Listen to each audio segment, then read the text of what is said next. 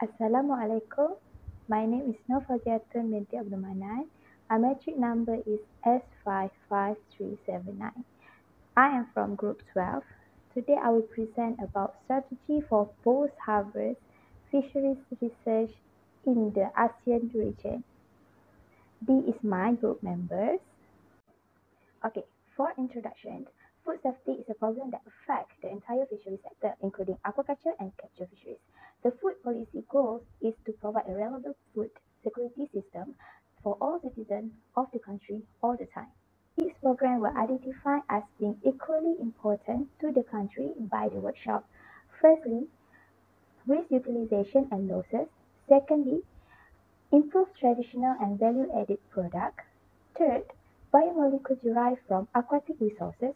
Fourth, biomolecule techniques and novel products.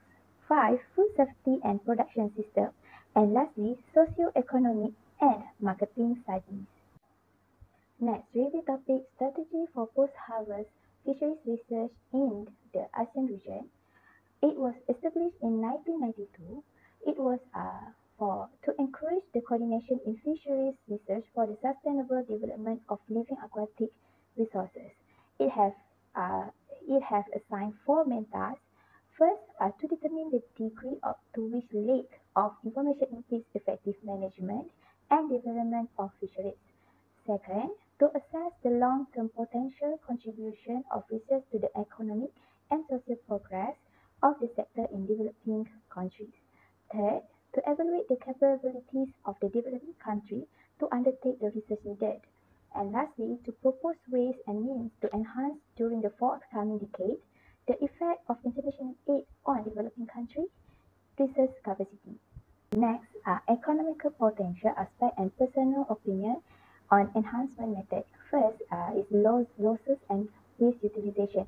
This strategy result for uh, it can get the best quantity of losses in terms of value, weight, and also the formulation of method. And it also develop relevant technologies. Okay, second, improve traditional and value-added product.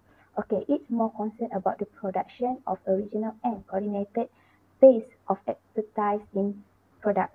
Second, it's important in socially and economically justifiable within the producer groups.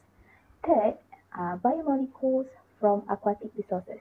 Uh, it can replace a new formula and also produce more environmentally friendly products and processes. Uh, the example is uh, first omega-3 fatty acid from fish oil, cysteine and cytosine from crustacea, and alginic acid from seaweed.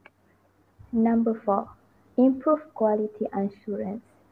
Important to us improve our value and the range of product.